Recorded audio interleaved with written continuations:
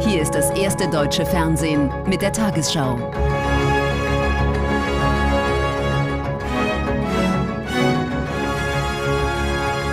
Heute im Studio Konstantin Schreiber.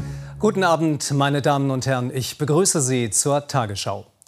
Überschattet von schlechten Umfragewerten und internen Querelen hat die Linke in Berlin ihren digitalen Parteitag begonnen. Bis morgen beraten die Delegierten über das Programm für die Bundestagswahl im September.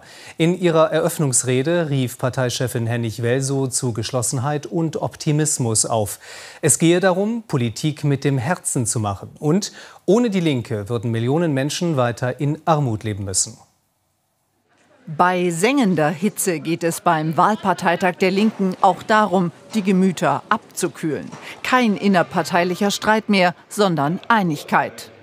Es bringt niemanden 150 Euro mehr Hartz IV, wenn wir uns streiten. Niemand bekommt einen Vorschuss als Ökopauschale oder was uns auch immer noch einfällt, als soziale Erleichterung für den Klimawandel, wenn wir uns streiten. Wenn wir uns auseinanderdividieren, wenn wir glauben, nicht mehr in die gleiche Partei zu gehören. Das Wahlprogramm wird hauptsächlich digital beraten. Nur wenige Delegierte sind vor Ort. Die Linke will eine Mindestrente von 1200 Euro und einen bundesweiten Mietendeckel. Der Mindestlohn soll auf 13 Euro steigen und zur Finanzierung will man eine Vermögensteuer einführen. Soziale Sicherheit ist das zentrale Thema. Wir können doch nicht akzeptieren, dass auf der einen Seite einige Menschen, die Milliardäre und Multimillionäre, immer reicher werden und auf der anderen Seite die Zahl der Kinder in Armut wächst und alte Menschen Flaschen sammeln müssen. Das ist nicht zu akzeptieren. Die Linkspartei will die Union aus der Regierung vertreiben und in einer grün-rot-roten Koalition mitregieren, bleibt aber bei ihrer Position in der Verteidigungspolitik. Wir wollen alle Bundeswehreinsätze, die es jetzt gibt, beenden und wir wollen die Bundeswehr nicht in Auslandseinsätze schicken. Und äh, wenn man sich jetzt anschaut, äh, die Truppen aus Afghanistan werden jetzt dieses Jahr nach äh, 20 Jahren Einsatz abgezogen. Wenn man sich diesen Bundeswehreinsatz alleine mal anschaut, dann stellt sich für mich schon die Frage, warum ausgerechnet die Partei, die genau davor gewarnt hat, vor dem Fiasko, das wir dort erlebt haben, warum die jetzt ihre Position ändern sollte. Morgen wollen die Delegierten das Wahlprogramm verabschieden. Am Montag soll dann der Wahlkampf starten. Und da gibt es viel zu tun, denn zurzeit liegt die Linke in Umfragen deutlich unter ihrem selbstgesteckten Ziel von 10 Prozent. Zum Auftakt des Bundesparteitags der Linkspartei jetzt Matthias Deiß live aus Berlin. Die Angst, im nächsten Bundestag nicht mehr vertreten zu sein, die war heute deutlich spürbar. Genau wie der Ärger darüber, dass die Partei 100 Tage vor der Wahl mit sich selbst statt mit dem politischen Gegner kämpft. Die Gräben sind tief, das Außenbild war zuletzt fatal und den beiden neuen Vorsitzenden fehlt bisher eine erkennbare Strategie, wie sich der Wählerschwund im Osten stoppen lässt. Eine von ihnen, Susanne Hennig-Welzow, wirkt nach nur vier Monaten im Amt bereits angeschlagen. Den Umschwung schaffen sollen nun die beiden Spitzenkandidaten Janine Wissler und Dietmar Bartsch. Weniger Streit sowie ein Wahlprogramm, das die Sozialpolitik in den Mittelpunkt stellt. Mehr Belastungen für Besserverdienende, mehr Geld für ärmere Menschen und Klimapolitik mit sozialem Ausgleich. Nach den Corona-Lockerungen will die frühere Kümmererpartei diese Botschaft wieder persönlich überbringen und setzt auf einen Haustürwahlkampf. Über mögliche Koalitionen reden will man dann erst nach der Wahl und damit zurück zu Konstantin Schreiber. Bundesgesundheitsminister Spahn geht davon aus, dass die Corona-Maßnahmen in Schulen noch längere Zeit aufrechterhalten werden müssen. Auch nach den Sommerferien würden voraussichtlich Maßnahmen wie Maskenpflicht oder auch Wechselunterricht notwendig sein, sagte Spahn bei einer Online-Tagung der Evangelischen Akademie Tutzing. Die Schulen könnten sonst zu Drehscheiben werden, die das Virus in die Haushalte hineinbrächten. Die bundesweite 7-Tage-Inzidenz der Corona-Infektionen ist erstmals seit September wieder einstellig. Der Wert sank laut Robert-Koch-Institut auf 9,3. Am niedrigsten liegen die Zahlen in Mecklenburg-Vorpommern, am höchsten in Baden-Württemberg und im Saarland. Auch die Zahl der Neuinfektionen geht weiter zurück. Dem RKI wurden binnen eines Tages 1108 Fälle gemeldet, rund 800 weniger als vor einer Woche. Mit drastischen Mitteln kämpft Portugal gegen die Ausbreitung der hoch ansteckenden Delta-Variante des Coronavirus. Seit gestern Nachmittag ist der Großraum Lissabon abgeriegelt. Vor allem dort waren die Infektionszahlen zuletzt stark gestiegen. Bis Montagmorgen darf niemand ohne triftigen Grund die Region verlassen. Auswärtige dürfen nur in Ausnahmefällen einreisen. Wenige Menschen schauen heute Abend gemeinsam Fußball in Lissabon. Viele sind zu Hause. Die Delta-Variante breitet sich in der Hauptstadtregion aus. Public Viewings abgesagt. Wir müssen so vorsichtig sein wie möglich und deshalb auch so wenig rausgehen wie möglich. Menschen, die im Großraum Lissabon leben, dürfen die Region bis Montag früh nicht verlassen. In ganz Portugal hat es gestern 1259 Corona-Neuinfektionen gegeben. Rund 70 Prozent davon betreffen den Großraum Lissabon mit 862 Neuinfektionen. Fünf Monate war das Land in einem harten Lockdown. Die Bundeswehr half im Winter Kranke zu behandeln. Im Mai schien Corona in Portugal überwunden. Nun neuerliche Infektionsherde. Ich denke mal, der Hauptfaktor ist, in dem Moment, wo die Variante da ist, ist doch der Hauptfaktor äh, Geschichten wie Hochzeiten und Taufen, die halt über Monate nicht gelaufen sind. Und äh, jetzt wird halt wieder getauft, jetzt wird wieder geheiratet und dann ist dann Festigkeit mit 200 Leuten. Und wir haben eben keine Testpolitik wie in der Bundesrepublik. Lissabon zeige, die Pandemie ist nicht vorbei. Mediziner sagen aber auch, Strandurlaube seien nicht das Problem, sondern Feiern in geschlossenen Räumen. Der erzkonservative Kleriker Ebrahim Raisi hat die Wahl im Iran mit großer Mehrheit gewonnen. Er wird damit Nachfolger von Präsident Rouhani, der nach zwei Amtsperioden nicht wieder antreten durfte. Raisi ist amtierender Chef der Justiz. Er gilt als Schützling des obersten Führers Khamenei. Aus der Opposition hatte es vor der Wahl Boykottaufrufe gegeben, da viele Kandidaten nicht zugelassen wurden.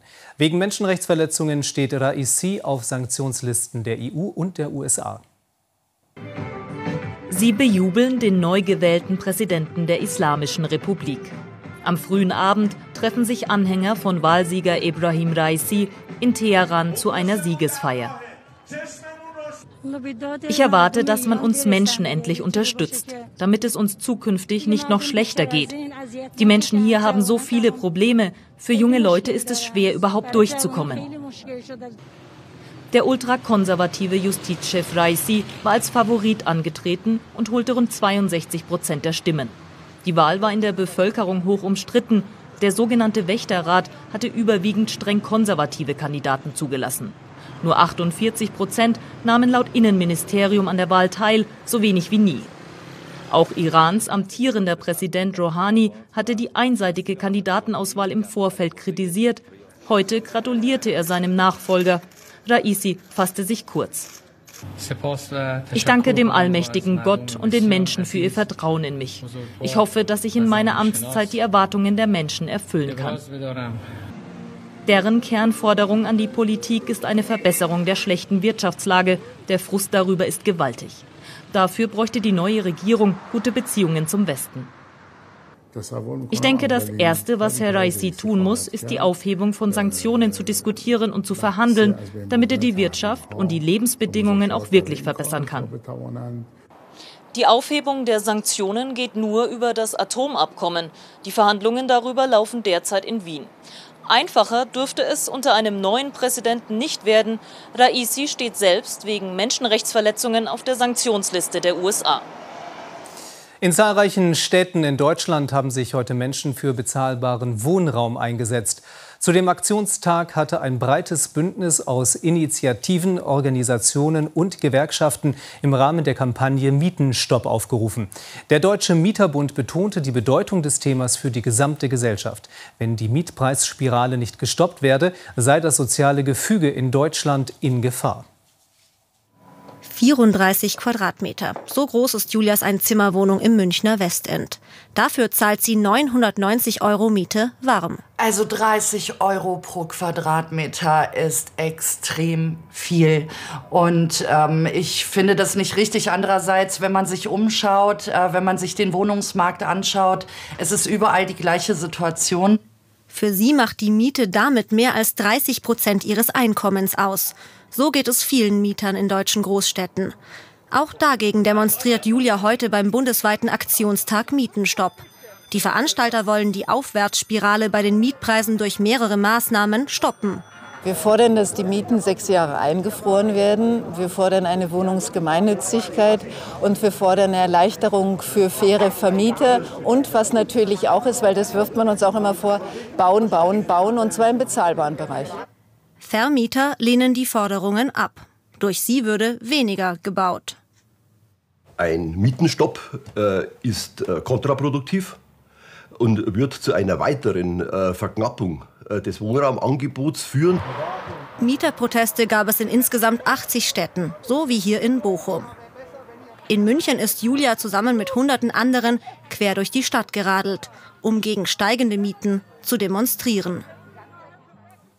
Die deutsche Fußballnationalmannschaft hat bei der Europameisterschaft ihren ersten Sieg eingefahren und damit ihre Chance aufs Achtelfinale gewahrt. Gegen Portugal zeigte das Team von Bundestrainer Löw in München eine kämpferische Leistung und gewann mit 4 zu 2. So sieht ein erleichterter Bundestrainer aus. Nach dem Fehlstart gegen Frankreich hat sich die deutsche Mannschaft zurückgemeldet. Bei über 30 Grad in München gehen die Portugiesen etwas überraschend in Führung. Cristiano Ronaldo erzielt sein erstes Tor gegen Deutschland überhaupt 15. Minute. Die DFB-Auswahl bis dahin besser. Imponierend, wie sich das deutsche Team in der Folge nicht aus dem Rhythmus bringen lässt. Der Ausgleich hoch verdient. Havertz freut sich nach einer guten halben Stunde. Es ist allerdings ein Eigentor von Diaz. Vier Minuten später dreht der Weltmeister von 2014 dann die Begegnung. Erneut jedoch unterstützt vom amtierenden Europameister. Kimmichs Hereingabe wuchtet Guerrero ins eigene Netz. Zur Pause haben die Portugiesen alle Tore erzielt. Deutschland führt 2 zu 1. Kurz nach dem Seitenwechsel entscheidet die deutsche Mannschaft die Partie quasi vorzeitig. Der starke Havertz 3 zu 1. Portugal hat in dieser Phase wenig entgegenzusetzen, ist in vielen Belangen unterlegen. Bezeichnend, dass der überragende Gosens sein erstes Länderspiel erzielen kann. Sein 4 zu 1 ist aber immer noch nicht der Endstand in diesem Klasse-Spiel. Cristiano Ronaldo und Jota zeigen die heutigen Schwächen der deutschen Defensive auf 4 zu 2. Spannend wird es aber nicht mehr, obwohl am Ende auch noch ein wenig Glück dabei ist, als Sanchez nur den Pfosten trifft. Am überzeugenden Sieg ändert das aber nichts. Das Achtelfinale ist damit in greifbare Nähe gerückt. Zur Ausgangslage der deutschen Nationalmannschaft nach dem Spiel gegen Portugal nun Dominik Fischer live aus München. Die deutsche Mannschaft, die ist in diesem Turnier angekommen und das auf beeindruckende Art und Weise, denn da es sich vielleicht so einfach anhört, 4 zu 2 gegen Portugal, das war nicht so leicht. Das 0 zu 1 von Cristiano Ronaldo, das musste das Team von Joachim Löw erstmal wegstecken, hat es dann wirklich klasse gemacht und es ist auch ein Sieg für den Bundestrainer, denn der hat die viel kritisierte Aufstellung gegen Frankreich gleich nochmal auf den Platz gebracht. Die gleiche Elf hier gegen Portugal und äh, somit verlassen die Fans hier euphorisch die Arena hinter mir und eins ist klar, wenn Deutschland am nächsten Mittwoch hier an gleicher Stätte gegen Ungarn gewinnen sollte, dann ist das Achtelfinale auf alle Fälle erreicht, vielleicht sogar als Gruppensieger. Damit zurück aus München zu Konstantin Schreiber nach Hamburg. Im zweiten Spiel der Gruppe F hat Frankreich am Nachmittag den vorzeitigen Sprung ins Achtelfinale verpasst. In Budapest gelang dem Team von Trainer Deschamps gegen Ungarn nur ein 1 zu 1. Die Ungarn erkämpften sich damit nach ihrer Auftaktniederlage gegen Portugal den ersten Punkt in der Vorrunde. Und hier die Lottozahlen. 11, 19, 21, 29, 35, 36, Superzahl 2. Diese Angaben sind wie immer ohne Gewähr. Weitere Gewinnzahlen finden Sie auf tagesschau.de und im ARD-Text ab Tafel 580. Und nun die Wettervorhersage für morgen, Sonntag, den 20. Juni. Das Tief bei der Biskaya sorgt dafür, dass das Wetter unbeständiger wird. In der Nacht breiten sich Gewitter über den Westen, später den Nordwesten bis in die Mitte aus. Vorsicht wegen Starkregen mit Hagel und schweren Sturmböen. Am Tag Sonne, Wolken, zunächst im Nordwesten, teilweise unwetterartiger Gewitter, am Nachmittag und Abend im Nordosten sowie vom Südwesten und Westen bis in die Mitte. In der Nacht 22 bis 12 Grad, am Tag 22 Grad an der nordfriesischen Küste, 37 Grad in der Lausitz. Am Montag Sonne, Wolken, Schauer und Gewitter, vor allem im Süden und Osten weiter Unwettergefahr. Ähnlich verläuft der Dienstag, dann in der Südhälfte Gewitter, die heftig sein können. Am Mittwoch mehr Wolken als Sonne, hier unter Schauer, im Süden und Osten auch Gewitter. Die Unwettergefahr lässt nach.